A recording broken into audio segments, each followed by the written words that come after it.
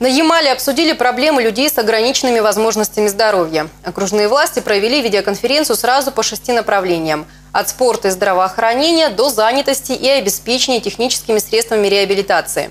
Им предстояло ответить на наиболее часто задаваемые жителями региона вопросы и рассмотреть предложения, которые озвучивали специалисты на местах. Так, к примеру, Ноябрьск предложил организовать курсы первой медицинской помощи для родителей, воспитывающих детей с ограниченными возможностями. И озвучил проблему нехватки специализированного транспорта для поездок на соревнования. Необходим автобус, оборудованный подъемником. Каждое обращение и предложение будет рассмотрено на уровне региональных властей.